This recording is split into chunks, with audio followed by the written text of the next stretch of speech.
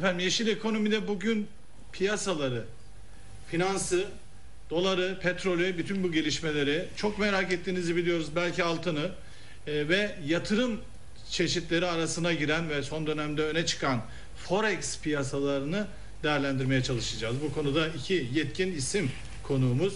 E, onların görüşlerini sizlerle buluşturma gayreti içinde olacağız. Program boyunca nereye nasıl yatırım yapmak daha doğru sorusuna yanıt aramaya çalışacağız. Öncelikle ben konuklarımıza hoş geldin. Hoş bulduk. e, demek istiyorum. Hoş geldiniz efendim. Hoş bulduk. Nereye yatırım yapacağını e, bilmek çok zor tabii değil mi? Öyle kolay bir iş değil yani. Tabii ki. Tabii ki. Yani şuraya yatırım yapmak onu bilseniz zaten bilenler zengin olurlar. Mesela-. Aynen. Bu Çok zor bir. Çünkü çok e, bileşenli bir denklem bu. E, yani bir sürü şeye bakmak lazım. E, dünyadaki, Türkiye'deki, ülkenin komşularındaki gelişmeler falan değil mi? Bir sürü şeyi bir arada değerlendirmek e, gerekiyor bu noktada diye. düşünüyorum. Doğrudur. Doğrudur. Ahmet Bey belki katkı yapmak ister. Tabii yani e, burada aslına bakarsanız 2000 yılından sonraki sürece baktığımız zaman hani belki bu söyledikleriniz hem katkı sağlamak açısından da önemli. E, gelişen teknolojilerle beraber e, yatırım bilinçlenmesi ve e, yatırıma e, yönelmede de e, farklılıklar gözetlenmeye başladı. Özellikle e, kaldıraçlı piyasaların gelişmesiyle e, biraz da piyasalardaki yatırımcıların risk iştahının e, bu doğrultuda arttığını e, zaman içerisinde görüyoruz. E, Burada yatırımcıların e, özellikle yapmış oldukları yatırım planlamalarında artık daha genel perspektiften piyasalara bakmaları ve mutlak surette yatırımlarını da risk iştahları doğrultusunda e, dengeleyerek e, o süreçte yönetmeleri çok önemli. Benim Biraz kanaatimce. sakin olsunlar. E tabii ki yani Yani Burada- acımasız çok para kazanacağım derken tökezleyebilirsiniz. Hiç para noktasına gelebilirsiniz. Ee, burada gözlü aç gözlülük meselesini e, gündeme getirmek lazım. Ee, kazanabileceğin kadar e, kazanmak ya da olmayacak şeyleri hayal etmemek gibi bir e, noktada olması lazım yatırımcının diye uyarıyorsunuz. Ben Tabii. Türkçe'ye çeviriyorum. Yani Tabii, tabii. uzman olarak biraz daha olayı bilimsel anlatıyorsunuz. Ben herkesin anlayacağı dilden böyle anlıyorum. Doğru mu anlıyorum? Doğrudur. Yani bunu e, yatırımlarımızı çeşitlendirmek özellikle e, bu noktada çok önemli. E, son özel 2008 yılından itibaren e, başlayan piyasalarda bu krizle birlikte e, farklı bir anlayışın daha çok hakim olduğunu görüyoruz zaman içerisinde. Tabii e, yatırımcı e, az önce de dediğiniz gibi bir heyecanla hareket ederse e, ve riskini nasıl yöneteceğini ilk etapta e, bilemezse bu tamamıyla e, Şimdi kayıp şöyle- kapılarını açar. Şöyle bir rota çizelim birlikte. Ee, tek tek yatırım araçlarını değerlendirelim. Yani daha doğrusu yatırım araçları demeyeyim de finans enstrümanlarına bakalım. Yani e, şöyle petrol de artık bir finans enstrümanı. E, altın, döviz, e, buradaki gelişmeler nasıl olacak? Dünya nereye gidecek? E, dolar daha e, aşağı inecek mi? Euro mücadelesini sürdürebilecek mi? Japonya'ya gidelim. Çin'deki gelişmelere bakalım. Bütün bu şeylerin değerlendirmesini alalım almasına ama önce şu forex meselesini bir çözelim. Sizinle mi çözelim? Olur. Forex meselesini çözelim. Çünkü e, Forex her ne kadar siz biz çok anlatıyoruz, bu konuda eğitim çalışmaları yapıyoruz, herkesi bilgilendiriyoruz deseniz de biz anlamamakta ısrar ediyoruz. Biz derken e, bir grup yatırımcı anlamamakta ısrar ediyor. Forex'i biraz böyle e, hemen kazan, e, köşeyi dön mantığıyla değerlendiriyorlar. Ne yapacaksınız, nasıl baş edeceksiniz bu işte? Şimdi Forex'e ilk baştan buradan anlatalım. Ee, 2011 yılında bir yasal zemin e, oluştu Forex için Türkiye'de. Ee, SPK'nın çıkarttığı regülasyon 2011 e, Ağustos ayında e, buradaki Türkiye'deki aracı kuruluşlara e, kaldıraçlı işlem e, izni verildi. E, o da Forex e, dediğimiz kaldıraçlı ürün e, trade etme e, izni verildi. E, bu izine tabi ayrıca e, Takas Bank e, ta bir müşterilerin teminatı saklanması üzerine bir forex e, izni başladı Türkiye'de. Bu bir- Sistem oluştu. Sistem Evet. oluştu. Bu çok büyük bir atılımdı.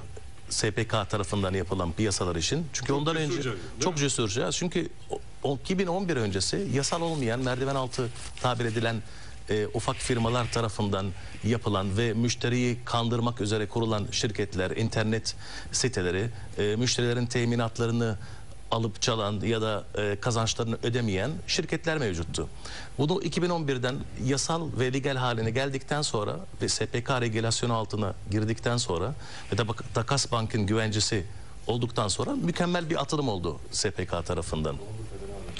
Ee, ondan sonra e, forex nedir? E, Forex kaldıraçlı e, kaldıraçlı ürünlerin e, trade edilmesi. Mesela e, pariteler, e, değerli e, metaller, e, enerji ürünleri. e, Forex her şeyi yatırım aracı biçimine dönüştür. Her türlü emtiayı. aynen. Diyebilir miyiz bunu? Doğrudur. E, ama Ama pirinçte, bulgurda, pamukta, kahvede, ekmekte, şekerde, kahvede, petrolde hepsi bir yatırım aracı şekline dönüşebiliyor Forex. Tabii ki Forex'in kanalıyla. başlangıç icadı esasında kurumsal e, amaçla başladı. Şirketler için başladı. Mesela siz bir buğday çiftçisiniz Amerika'da. Borsaya gidip kontrat olarak satıyorsunuz. Gelecekteki tah- e, hasat edeceğiniz Ya buğdayı. şöyle, mesela biz bunu bir yaptığımız bir toplantıda dile getirmiştik. Eğer iplik üreticisiyseniz pamuğa yatırım yapmanız kadar doğal bir şey olamaz. Tabii ki. Yani Tabii ki. sonuçta ihtiyaç duyacaksınız. Oradaki iniş çıkışlardan daha az, daha az etkilenmeniz için çıkışlarda işte daha az kar eder vaziyette oluş. İnişte de e, işte daha uygun fiyat yakalamak için pamuğa yatırım yapmanız Bir kadar- kolay bir misal vereyim orada. Buyurun. misal e, siz kolay. bir rafinesiniz. Altın ve gümüş rafine e, rafinesiniz. E, bugün piyasada gümüş bulamıyorsunuz. Ama fiyat ucuz, uygun. Onu almak istiyorsunuz. Geliyorsunuz Forex ekranından onu alıyorsunuz. Kendi riskinizi orada minimize edip hedge ediyorsunuz. O gümüş madeni piyasada bulunduktan sonra onu alıyorsunuz ama Forex'ten ve ekrandan aldığınız için zaten istediğiniz fiyattan aldınız.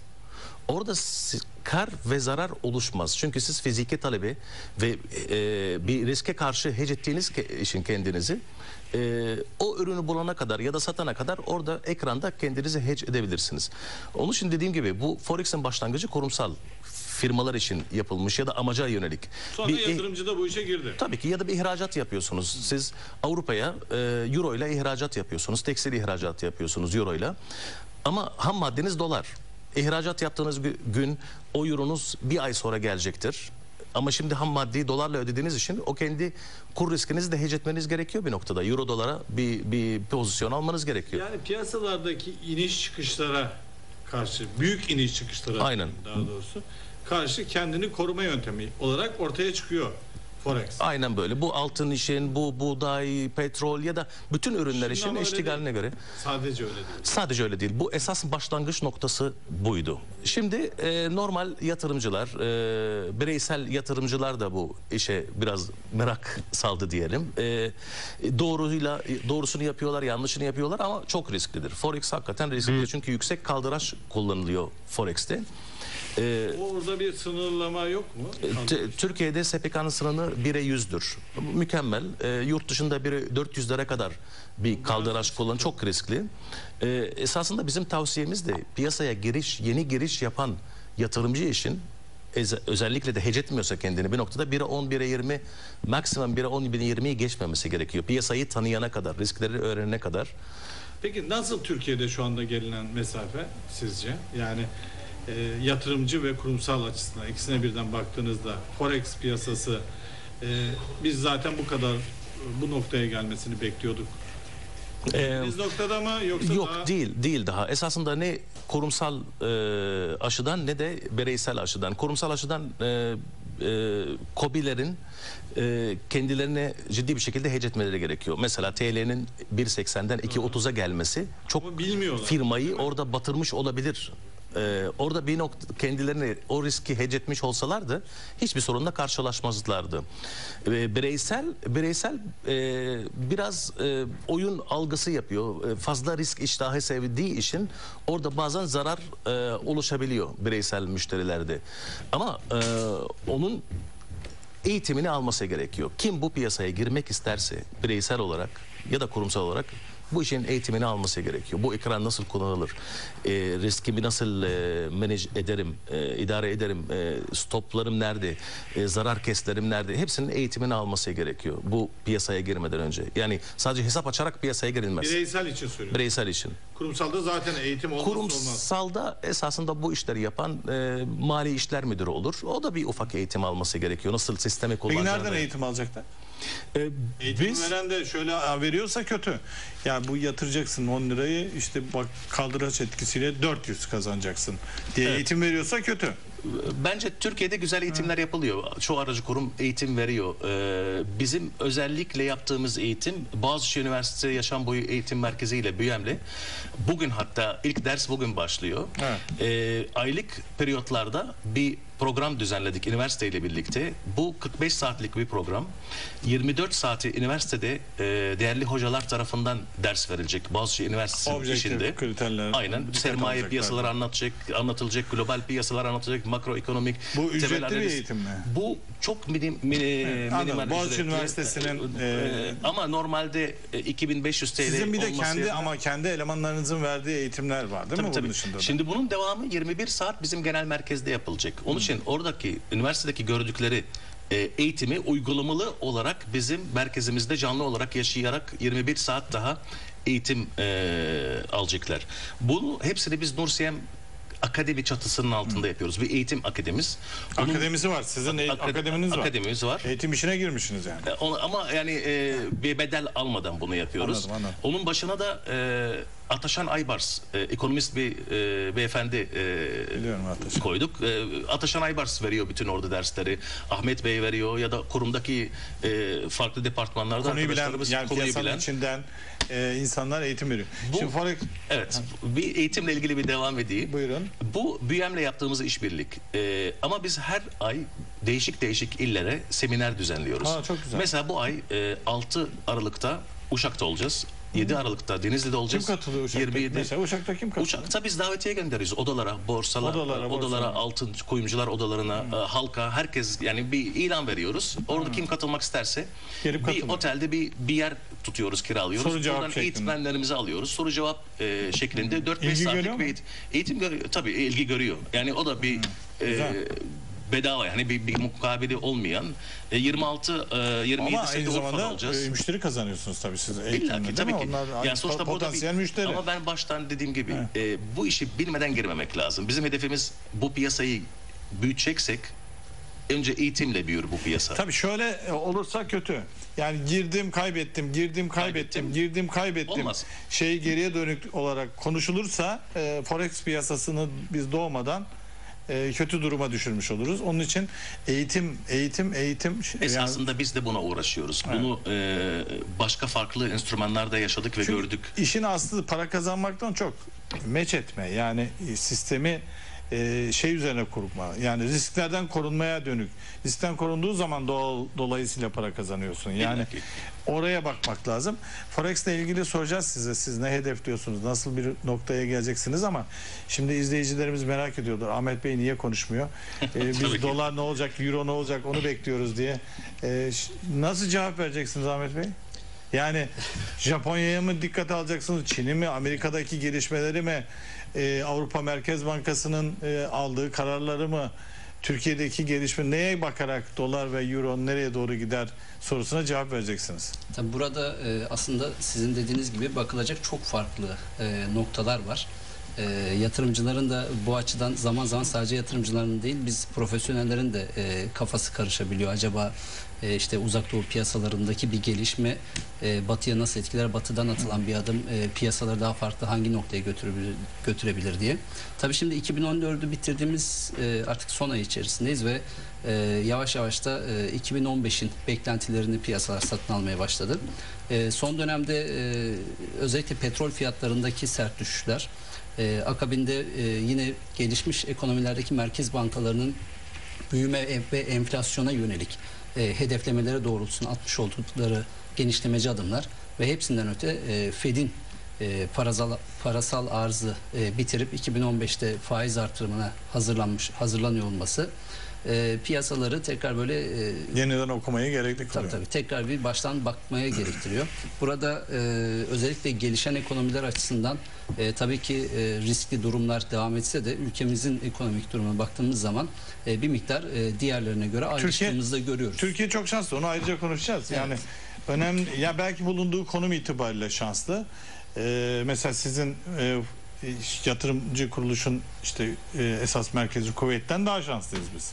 Ee, Yani Bence de şimdi ya. tartışmayalım diyeceksin belki de bu konuyu. Kuveyt biraz Bence çok de- şans. Şimdi Doğru. bizim bu, bu tarafta Orta Doğu'da bir takım problemler oluyor. Rusya pazarında e, çok pozitif gelişmeler oluyor. E, iki yerde de problem oluyor. Avrupa'da ekonomi e, düzelmeye e, başlıyor. Yani öyle eğilimler oluyor. Onun için Türkiye'nin bulunduğu konum böyle nereye dönerseniz bir fırsat, nereye dönerseniz bir risk e, vaziyeti olduğu için biz eğer fırsatları öne çıkartırsak yırtarız. Ama sizin için öyle değil. Şimdi d- Petrol doğrudur. düşüyor ne yapacaksınız? Doğrudur. Zaten e, Türkiye geliş sebebimiz de bu. Türkiye biz bir merkez olarak, bir hub olarak seçmeye e, seçerek geldik Türkiye. İstanbul Finans Merkezi projesine inanarak Türkiye'deki e, 16. dünyadaki 16 ekonomik gücüne sahip olan bir ülke civar ülkelerine e, civar ülke mesela Türkiye Cumhuriyetleri yakınlığı, Arap ülkelerine yakınlığı, Avrupa'ya çok yakın olması Türkiye'yi merkez olarak seçerek Türkiye'ye geldik. E, Kuveyt'ten ve Körfez'den Tek bir fark- Türk diyorsun bir, yani. bir, bir farkı var. Bir farkı var. Ee, bence başarılı bir operasyondu bizim için Türkiye gelişimiz ve çok mutluyuz burada olmaktan. Ee, Yani nasıl geldiniz siz Türkiye'ye onu da soralım bari. Yani şöyle güçlü, uzun vadeli, uzun soluklu burada çok önemli yatırımlara imza atmak için mi geldiniz? Evet. Yoksa burada e, kısa dönemde iyi bir e, şey var, e, Tabii ki. fırsat var. Bunu değerlendirip gidelim. Yok, ta- ta- uzun soluklu olmak için geldik Türkiye'ye. Ee, ik- paralel iki tane departmanda çalıştırıyoruz şirketi. Bir tanesi forex kaldırışlı işlemler ama orada e, farkımız da faizsiz olmamız ve de sabit spreadli olmamız bir fark attık piyasaya orada. Forex'te Faiz- faiz yok zaten. Forex'te e, faiz var, gecelik swap maliyeti var, Öyle mi? taşıma Ha. maliyetidir. Müşteri e, bu müşterilere yansıtılır. Biz orada Bunu bir fark yaptık. Biz Türkiye'de bunu başlattık. E, faiz olmayan e, Forex'i. E, ciddi maliyetleri var şirket için. Zarar bir maliyeti var Başka ama yerden onu- çıkartıyorsun. e, mi onu e, pazarlama maliyetlerinin altına biz e, sayabiliyoruz o maliyetleri. İkinci yönümüz 2015'te başlayacağımız ikinci yönümüz o da kurumsal finansman. Yani şirketlere finans sağlamak, şirketlerin e, sukuk ihracı, e, Yatırım yatırım- yapmak isteyen şirketlerin önünü açacaksınız. Aynen. Türk- Çok önemli. Sadece bunu konuşalım. Başı e, benim. esasında Bu, bu Türkiye'de finans meselesi en önemli mesele. Türkiye'de Sizde yavaş- para var, Türkiye'de ş- fikir var, şirket var, e, işte şey var. Bunu birleştirdiğiniz zaman çok büyük bir güç de tabii yaratabilirsiniz. ki yüzde yüz. Bunu bu köprüyü biz 2015'te kurmak istiyoruz. Türkiye ile Türkiye'deki Körfez bankalar arasında. aramızda kalsın. Türkiye'deki bankalar yağmurlu havada şemsiye açmıyorlar. yani böyle bir sıkıntısı var. Özellikle KOBİ'lerin böyle bir sıkıntısı var. KOBİ'lere dönük e, bu bahsettiğiniz gibi sukuk ihracı vesaire gibi çalışmalar yaparsanız çok büyük e, hem Türkiye ekonomisinin önünü açarsınız hem de iyi para kazanırsınız. Esasında iki konuda profesyonel ve de, piyasadan değişik olmak istedik. Öncelikle Buyurun. kurumsal finansmanda hakikaten Türkiye ve Körfez ülkeler arasında bir köprü sağlamak. Körfez'de güçlüyüz. Kuveyt ana merkezimiz, Dubai'de ofisimiz var, Katar'da ofisimiz var. Çoğu yerde Körfez'de Paranız var. ofislerimiz var. Ee, bir e, yatırım bankasına ait bir bir bir bir, bir şirket. Ee, bir oradaki para ve fonlara bir ulaşımımız var diyebilirim. Onun için köprüyü kolay sağlayabiliriz. E, firma izdivacları, firma alım satımları, işte Körfez'le ilgili ya da Türkiye'den bir yatırımcı olabilir. Ahmet Bey müthiş bunu konuşalım değil mi? Yani esas bu. Yani istihdam demek bu. Tabii. Türkiye ekonomisinin gelişmesi. Ne zaman başlıyorsunuz bunu? 2015'te başlıyoruz. Bunu yeni lisanslamalarla ilgili sermayemizi arttırıyoruz şimdi aracı kurumlar. Peki 2015 dediğiniz şurada Çok yakın, çok yakın. ne yapacağız biz mesela ben orta ölçekli bir işletmeyim. Ee, yeni yatırımlar yapmak istiyorum. Fabrikamı büyütmek istiyorum ya da yeni fabrika kurmak istiyorum. Ya da işte başka bir şey yani yeni bir ürün çıkartmak istiyorum. İnovatif bir şey yakaladım. Onu geliştirmek istiyorum. Ee, ne yapıyor? Sizi mi bulacak? Esasında başvurabilirler, Nursiyem'e başvurabilirler. Ee, ama Nursiyem'e başvurup size mi başvuracak? Yani? tabii tabii bize hani Ya Ahmet Bey'e mi gidecekler size mi gelecek? e, bi- bana e, Size gelsin. bir ba- başvurabilirler. Ahmet Bey daha fazla ağırlıklı forex e, piyasaları evet. e, ve iş piyasalar. Bize başvurular orada başvurabilirler. E, ama esas amacımız e, sukuk ihracı e, Sukuk biraz arzlar- anlatsanız anlatabilir misiniz sukuk? Tam biraz zor bir Su- işte. sukuk Nasıl esasında anlatılır tabii Ahmet Bey? Bildiğimiz- yardımcı tabii- olun bize hep beraber Bey yapalım. aslında bu konuda Evet. E, bildiğimiz esasında şirket tahvili ama faizsiz olan İsl- İslami e, yönü olan e, bir sukuktur. Kiralama sertifikalarıdır. O bir asete bağlıdır. O sanki bir bina yapıyorsunuz diyelim. E, onu kiraya verirsiniz. E, bir Finans. tahvil çıkartırsınız, sukuk çıkartırsınız. Oradan bir finans sağlarsınız. Finans. O kiraya paylaşım yaparsınız karşı tarafa. Bu en kolay e, anlatımı e, budur. Yani ben inşaat sektöründeyim. GEO'sunuz mesela. GEO'yum. Evet. Ee, bir bina yapıyorum. Bir projeniz var. Geldim size. Ne yap ne, ne, ne bir, diyorsun? e, bir tahvil, Tahvil çıkartıyorsunuz. İzinlerini alıyorsunuz SPK'dan ilgili merciyelerden. Aldım. Onu sukuk diyelim ona. Evet. Kira sertifikası.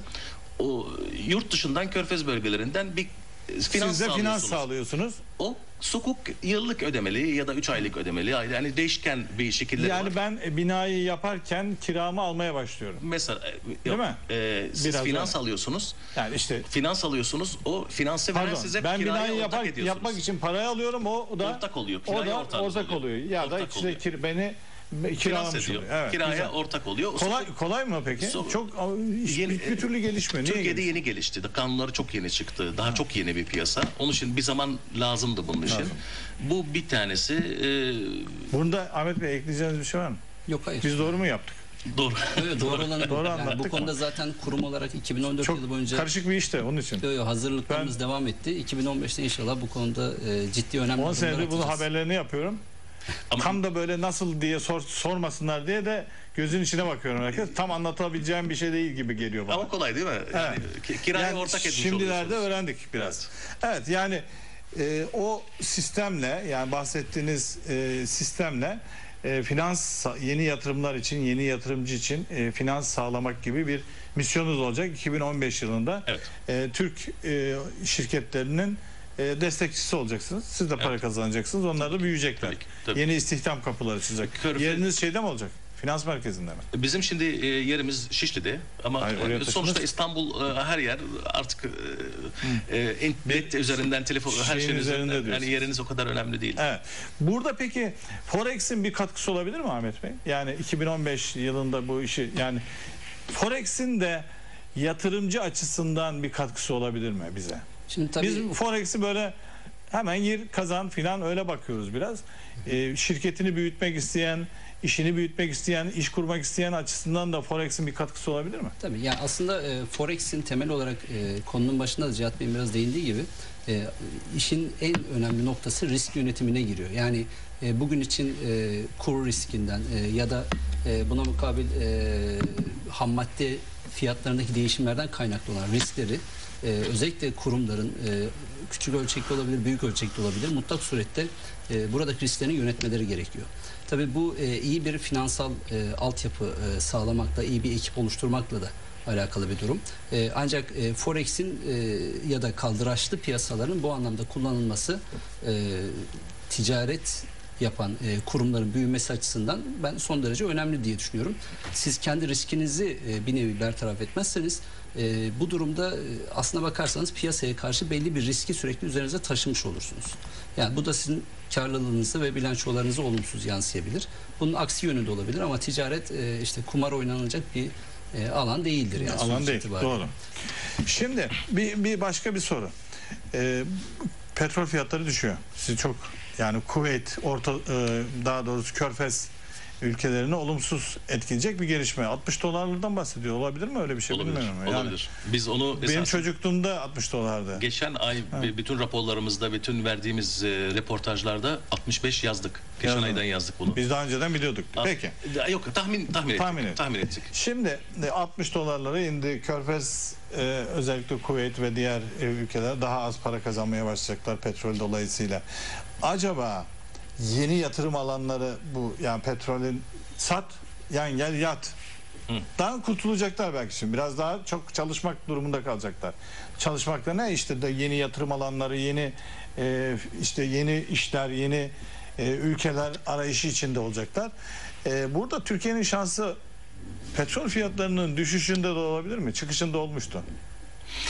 Esasında petrol fiyatların düşüşü bir noktaya kadar da e, olumlu yansır. Bir noktadan sonra Türkiye'nin ihraç ettiği ülkelere mesela Avrupa diyelim ki e, şimdi petrolden mutlu memnun ama Ha. bu e, bir noktada bu ülkeler ihraç eden petrol ihraç eden ülkeler bir noktadan sonra para fazlası olmayacak. Olacak. ekonomiye bir katkısı sağlanmayacak o paradan. Mesela Suudi Arabistan diyelim ki 100 dolarken petrol Suudi Arabistan'daki fonlar gelip Türkiye'de daha kolay yatırım yapabilirdi. 60 Şimdi bence daha düşünce kolay yapabilir belki mi? daha zorlaşır biraz. Dünya ekonomisi için ve global ekonomi için petrolün çok da düşmesi de iyi bir şey İyi bir değil. şey değil ama yani şu anda da e, şimdi onu konuşalım biraz. Şu anda da e, artık petrol üzerinden e, yani petrol nasıl olsa satıyorum 120 dolara. İşte fıstık gibi para kazanıyorum. Yata, yatırım yaparsan yani yatırım olarak şeyi görebilirsin işte. Forex'i belki görüyordun. İşte ya da faiz ya da faiz dışı e, böyle daha çok e, bir fabrika kurmayı, yeni bir şirkete ortak olmayı düşünmüyordu. Şimdi onlar gündeme gelebilir mi diye bir soru. Bu soruya hemen cevap vermek zorunda Şimdi, değilsiniz. Bir kısa araya gidelim. Aradan Okey. sonra cevap verin. Vermeyebilirsiniz de. Devam edeceğiz. Bir kısa araya gidiyoruz. Aradan sonra birlikte olacağız efendim. Efendim Yeşil Ekonomi'de bugün finansla ilgili değerlendirmeler yapıyoruz. Petrol fiyatlarındaki düşmele, düşüşün e, Türkiye ekonomisine ya da Körfez ekonomisine nasıl etki yapacağını konuşuyorduk. İstedik ki Ahmet Bey de bu konuda bir şeyler söylesin. E, sizinle devam edelim. Ahmet Bey buyurun. Şimdi e, yani petrolün son dönem fiyat hareketlerine daha geniş açıdan bakacak olursak öncelikle e, fiyatları 80 dolarlara çeken sebep daha çok küresel ekonomideki yavaşlama. Yani e, talebin düşeceği endişeleri biraz da e, fiyatlarda baskılanmaya neden oldu. Tabii e, sonraki süreçte OPEC'ten e, beklenilen adımların atılmaması OPEC üyelerinden e, ve bir miktarda belki e, Rusya'ya karşı olan yaptırımların da e, bu tarafta yansımalarıyla birlikte e, fiyatlar e, 80 dolarların altına geldi. E, o dönemleri hatırlarsanız yani e, yine Kuveyt Enerji Bakanlığı'ndan gelen bir açıklamaydı ki bizim maliyetlerimiz için 77 dolar uygundur gibi e, bu tarzda açıklamalar da geliyordu. Fakat Son toplantıda yani geçen hafta yapılan OPEC toplantısında e, gördük ki OPEC üyeleri e, biraz da pazar payını kaybetme korkusuyla birlikte e, herhangi bir şekilde müdahale etme taraftarı değiller. Tabii bu e, fiyatları sert aşağıya çekti. Çekmeye de devam ediyor. Belki bir miktar bu hafta içerisinde bir e, kısa düzeltmeler yaşansa da e, petrol fiyatlarının aşağı yönlü baskılanması bir süre daha devam edecektir. Ben e, bu noktada 2006 düzeltiyorum 2015 yılının ilk 6 aylık döneminin e, biraz daha kritik bir süreç olacağını düşünüyorum. Aslında tüm ekonomiler açısından e, bu dönemin kritik olduğunu düşünüyorum. Çünkü burada FED politikalarının, e, FED faiz politikasının e, ne yönde şekilleneceği de e, gelen verilerle birlikte belirlenecek. Tabii jeopolitik gelişmeler vesaire tüm hepsini düşündüğünüz zaman e, e, kırılmaların, sapmaların olabileceği bir döneme giriyoruz.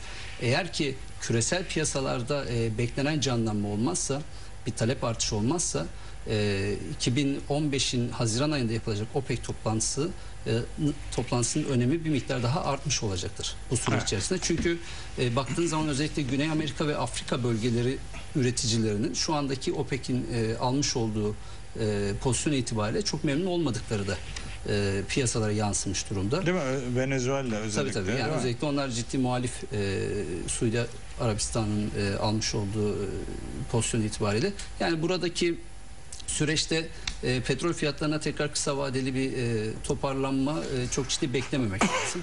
E, tabii ki bu süreç özellikle Rusya'daki resesyonu daha da derinleştirebilecektir. E, yine e, pet- gelir kalemleri ağırlıklı e, petrol ve enerjiye dayalı olan e, ekonomilerde ciddi handikaplar yaşanmasına neden olabilecektir.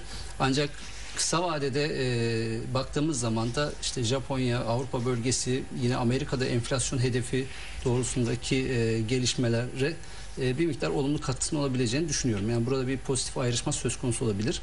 E, bunu daha çok kısa vadeli görmek lazım. Evet yani bu ama bu şeyi işte petrolü, e, dövizleri, altını yönetmek başlı başına dünyadaki gelişmeler böyle mayınlı tarlada gezmek gibi falan herhalde değil mi? Yani her şeye Tabii. dikkat edeceksiniz. E, Japonya hangi karar alıyor ona bakacaksınız. İşte Çin'deki gelişmelere bakacaksınız. Hindistan'daki e, işte e, altın talebine dikkate alacaksınız. İran'ın petrol konusundaki tavrını yani böyle bir sürü şey şey yazıp Çok normal var şartlar altında diye bir şey yok yani. Tabii tabii normal şartlar hiçbir hiçbir Evet. zamanda olmayacak. Normal şartlar altında Ee, bir şey. bizim ben e, 2013-2014 yani özellikle Fed'in e, 2013 Mayıs'ından itibaren Bernanke'nin konuşması sonrası başlattığı süreçle birlikte e, yine Rusya ve e, Ukrayna özelinde başlayan e, Batı ile Rusya arasında artık bir gerilime dönüşmüş olan e, jeopolitik bir takım risklerin e, bir süre daha piyasalardaki etkileşimi sürdüreceğini düşünüyorum. Olumlu ve olumsuz yönde. Bu arada İMKB bu gelişmelerden nasıl etkilenir? Tabii şimdi kısa vadede baktığımızda İMKB değil de artık doğru Türkiye ben ekonomisi olarak bakmak lazım Evet. belki de. Ee, yani bizim açımızdan e, aslında yıl sonuna doğru bir bonus e, hükmünde e, biraz da bu petrol fiyatlarının düşüşü Hmm. E, artı değer kattığını düşünüyorum. Ben ki e, bugün e, borsanın fiyatlamalarına baktığımız zaman da e, burada ciddi bir petrol fiyatlarının payı var bu yükselişlerde. E, bunu çok belki kısa vadede olumlu e, yönlerini algılayabiliriz. Biraz da piyasada e, bu pozitif ayrışmanın verdiği bir tekrar özgüven de başladı. Hani risk iştahının da artmakta olduğunu görüyoruz. E, ancak e, 2015 ilk yarısındaki e, makroekonomik gelişmeler ve jeopolitik gelişmeler e, Türkiye ekonomisi açısından belli risklerin e, devamına neden olacaktır diye düşünüyorum. E, ki yine Haziran ayında zannedersem er- seçim söz konusu. Şimdi bu risklere baktığınız zaman çok fazla piyasada risk iştahının yükselmesinin bence olumlu olmayacağı e, bir döneme girebiliriz. 2015 başı itibariyle. Anladım. Bu uyarılarınız çok önemli bence. Ee, izleyicilerimiz de not almıştır sanıyorum. Ben bence çok önemli uyarılar, önemli e, mesajlar içeriyor. Ee, özellikle ilk 6 ayda çok çok titiz ve dikkatli e, davranmak gerektiğini e, ne ilişkin sözleriniz. Şimdi daha genel makro bir şeyler konuşalım. Siz hazır buraya gelmişken. E, körfez sermayesi diye bir, bir deyim var. Türkiye'de çok kullanılan bir deyim. E, çok umutluyuz o sermayeden. İşte e, zaman zaman da işte özellikle büyük gayrimenkul şirketlerimiz e, bir blok sattım, 20 daire sattım filan diye son dönemde bize öyle e, haber bültenleri e, gönderiyorlar. E, özellikle körfez sermayesinin e, gayrimenkul sektörüne gösterdiği ilgiden çok memnunuz. Evet.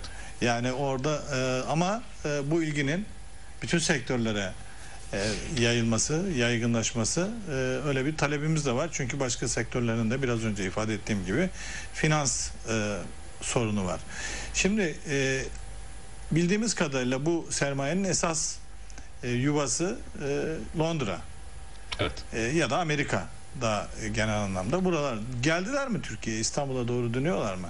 Hala gelmediler mi? Biz yıllardır çekmeye çalışıyoruz Körfez sermayesini. Burada E, Esasında hala başarılı olamadık. Son 10 yılda illaki bir geliş oldu. Eskiye Ama nazaran yani- eskiye göre illaki bir, bir geliş oldu. Patlama çatlama falan bekliyoruz. Patlama olmasa da bir geliş oldu. Özellikle finans üzerinden bir birkaç banka satın alındı, birkaç aracı kurum satın alındı, bir AVM'ler satın aldılar. Ee, hastane grupları, Acıbadem'e Dubai'li bir grup e, almıştı. Şimdi sattılar sonra ama e, Karlı da bir iş yani Türkiye'de. Tabii, Bak tabii. alıyorsun satıyorsun Tabii, para tabii. kazanıyorsun. Yani hastaneler, sağlık sektörünün üzerinden geldiler, enerji sektörü üzerinden geldiler. En son tabii yabancılara çıkan e, mülk edinme kanunu ile birlikte Mütekabiliyet. Mutakabiliyet kanunuyla birlikte e, Arap yatırımcılar ciddi bir şekilde ev aldılar ve arazi aldılar. İstanbul'da, e, Akdeniz'de, Yalova, Bursa o bölgeyi çok seviyorlar. Yeşillik. ve- Komşumuz artık Araplar yani. Evet Yani biraz böyle oldu. Yeni komşularımız. Evet bir de e, bunun da turizm sektörüne de bir katkısı, ciddi bir katkısı Ama otel var. almıyorlar mesela değil mi? O orada çok şey değiller. Ee, belki Bence siz söyleyin, alkol otel olayından olabilir. Alkolden Ee, dolayı. belki alkol olayından olabilir. Otel almama sebepleri ama e, daha fazla ev alıyorlar. E, turist olarak geliyorlar. E, İstanbul'da son iki senedir gördüğümüz ciddi bir turist, Arap turisti var. Ciddi bir harcama yapıyor Arap turisti. Mesela Avrupa'dan gelen turist belki bir haftada 500 dolar harcıyorsa e, ama Körfez'den gelen bir turist 10 bin dolar da harcayabilir ya da alışveriş yaparak 50 bin dolar da harcayabilir. Esasında bir katkısı var. E, turizme bir katkısı var, alışverişe bir katkısı var. E, ama direkt daha o büyük projeler daha gelmedi. Belki tanıtımla birlikte bu bölgedeki jeopolitik e, bölgedeki risklerin haf, e, Azalmasıyla. azalmasıyla bu Ona da Suriye- bakıyorlar Tabii çünkü, ki şimdi? Suriye bir bir risk e, e, Irak bir risk. Irak bir risk. Rusya'daki olan Kırım ve e, Ukrayna bir risk. Yani bu bölgede bir hareketlilik var. Bu geçtikçe bence daha fazla daha büyük yatırımlar gelebilir. Ama bütün bu risk, risk şey e, kar kardeştir derler ya. Yani risk ve fırsat e, eşitliği vardır. E, diğer ülkelerde de bu kadar karlılıkların yüksek olduğunu sanmıyorum. Siz Yok. bunu bence anlattınız. Yok, tabii ki ya. yüksek. Türkiye- Türkiye- Genç bir nüfusu var Türkiye'nin. E, ve işte biraz önce konuştuğumuz gibi bütün coğrafyaya açılmak gibi bir kabiliyeti var. Tabii ki E, Londra'dan yükselen bir- vazgeçsinler. Londra eskidi artık. Out Londra. Esa, kanunlar bu hükümetle birlikte esasında bayağı bir değişti. Yabancı yatırımlara, yatırımcılara karşı bir değişti. Daha belki değiştikçe daha fazla da yatırımcı e, gelecek. E, ben böyle düşünüyorum. Anladım. Ahmet Bey siz bu konuda ne düşünüyorsunuz?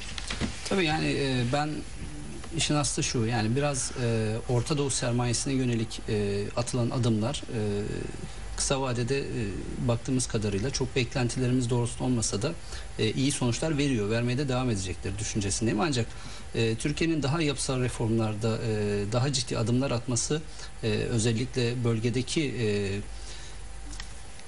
bir nevi cazibiyetini artırmasıyla birlikte e, bu bölgelerden Türkiye akış yani İngiltere ya da e, batıya yönelik olan e, adımlara nazaran daha da çok artacaktır. E, biraz daha bunun için ben sürece e, ihtiyaç olduğunu düşünüyorum ama e, gidişata baktığımız zaman bu e, olumlu yönde etkilenme devam edecektir. Ama bu su falan meselesini, Forex'i daha çok anlatmak gerekiyor herhalde. Eğitim bu konuda bilgilendirme, e, biraz zor anlaşılan konular. E, bir de bir de çok konuştuk bu konuları ama bir türlü somut bir, bir takım adımlar atılamayınca acaba tavsadı mı diye e, düşünmeden edemiyorum. Anlatmak gerekiyor. Tabii anlatmak gerekiyor. Biz de zaten bu departmanı kurdukça yani bu işe başladıkça hemen bir eğitim e, COBİ'lere e, yönelik bir eğitim yapmaya düşünüyoruz bu bu konuyla ilgili. Eğiterek bence ve anlatarak onlara bu piyasada ne katkı sağlayacağını onlara nasıl bir finans e, elde edeceklerini, daha ucuz bir finans elde edeceklerine dair sonuçta bir ortak alıyorlar yanlarına. O kiraya bir ortak. Bir yerden kredi almıyorlar. E, ucuz finans ediyorlar projelerini. Bunu hepsini anlatacağız. E, o da bir katkı sağlar e, ekonomiye illaki. diyorsunuz. Evet çok teşekkür ediyorum ben. Ee, umarım Türkiye ekonomisine e, yeni katkılarınızı önümüzdeki süreçte daha e, ciddi bir şekilde görürüz. E, göreceğiz de zaten. Zaten bunun, onun için geldiniz. Yoksa Tabii. işinizi yapmamış oluyorsunuz değil mi? Tabii. Değil mi? Öyle Tabii. baktığınızda işiniz. Hedefimiz bu. Başkasını getirirler sizi ya iyi yaparsanız. Evet. Peki çok teşekkür Biz ederim. teşekkür çok kolay gelsin. Başarılar diliyoruz. Çok sağ olun. Sağ olun. Efendim bugün Yeşil Ekonomi'yi noktalıyoruz. Yarın görüşmek üzere. Hoşçakalın diyoruz.